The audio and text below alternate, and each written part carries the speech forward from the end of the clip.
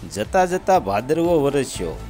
અમરેલી જિલ્લાના બગસરા પંથકના ગ્રામ્ય વિસ્તારમાં ધોધમાર વરસાદ ખાબકતા રસ્તાઓ પર નદીની માફક પાણી વહેતા થયા હતા.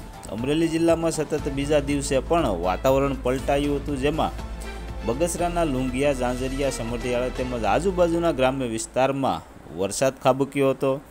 આ વિસ્તારમાં ખેડૂતોના સિંગ, કપાસ અને સોયાબીન જેવા પાક ઉપર પાણી વરસતા ખેડૂતોમાં નુકસાનીની ભીતિ જોવા મળી રહી છે.